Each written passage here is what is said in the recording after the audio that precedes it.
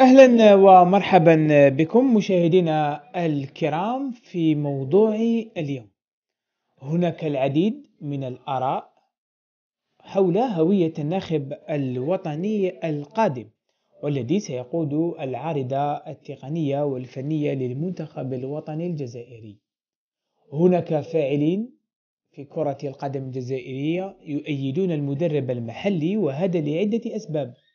منها سنستمع وإياكم في هذا الاتصال الهاتفي لنظرة رئيس الأسبق لفريق مولودية العلمة وعضو الرابطة المحترفة الأولى سابقا ويتعلق الأمر بهراس عرادة الذي قال في هذا التصريح لقناة دزاير تيوب نستمع وإياكم ما قاله ثم لنا عودة بعد ذلك.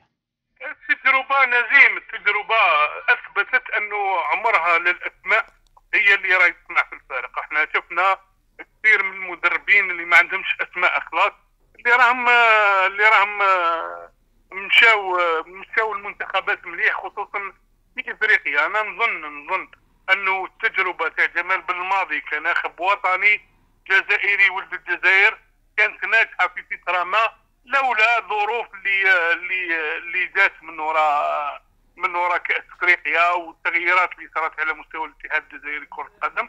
نظن أنه آه، ناخب آه، وطني محلي. أنا بالنسبة لي آه، من الشباب اللي راهم كاينين والكفاءات اللي راهم كاينين والله طاقم فني جزائري ما يكلفش الخزينة العمومية مبالغ كبيرة من من جهة.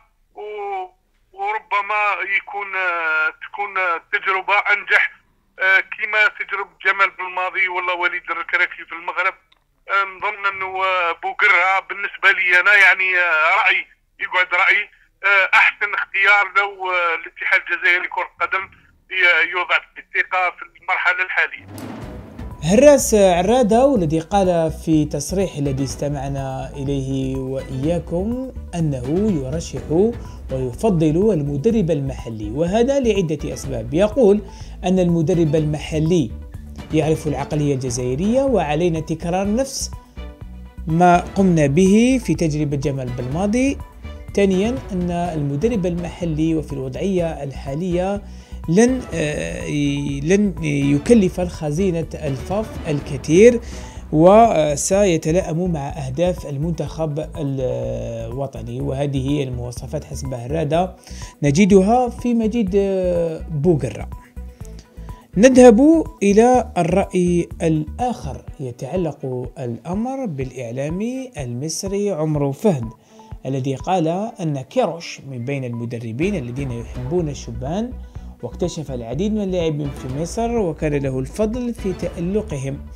نستمع إلى هذا التصريح الذي خصه الذي خص به قناة زيتون والله التعاقد مع كيروش إن تم سيكون يعني ضربة موفقة جدا للمنتخب الجزائري لأنه مدرب من طراز ممتاز. مدرب أحدث نقلة نوعية في كرة القدم المصرية رغم قصر المدة التي تولى فيها المسؤولية. أخرج الكثير من اللاعبين الجدد ضخ دماء جديدة في المنتخب.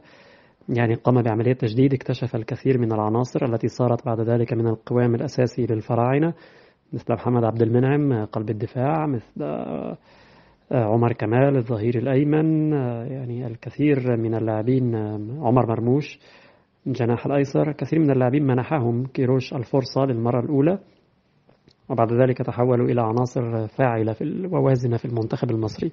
وأعتقد أن هذا هو ما تحتاجه الجزائر في الفترة الراهنة لأن المنتخب الجزائري يحتاج إلى التعامل أكثر آه، بأكثر عدالة مع اللاعبين. منح الفرصة للكثير من العناصر الجديدة هذا بالاقتصار على مجموعة معينة مهما كانت الإنجازات التي حققتها.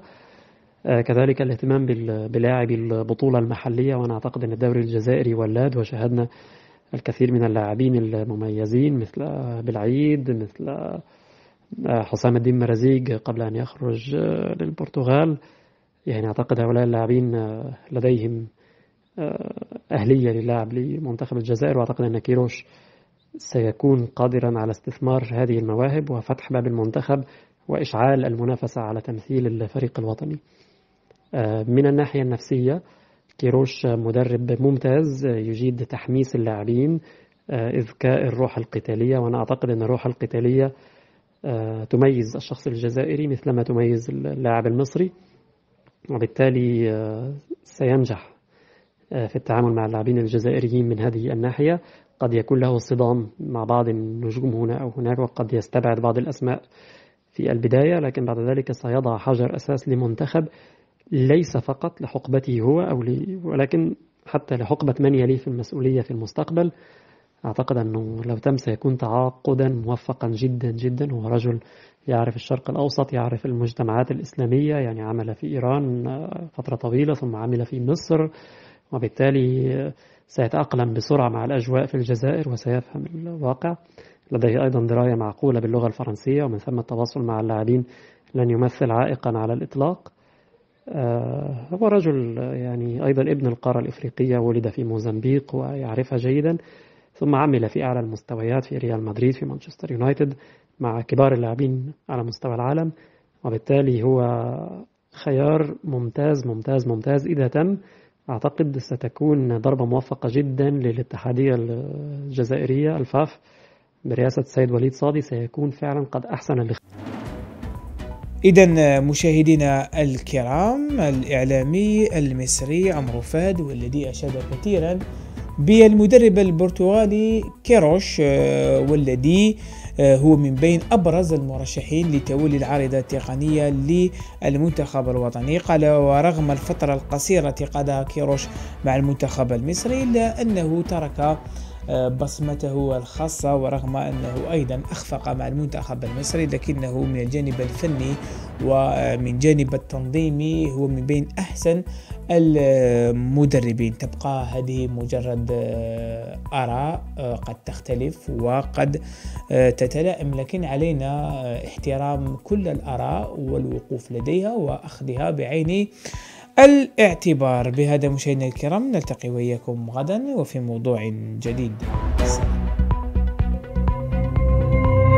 زير تيوب أول قناة إلكترونية في الجزائر.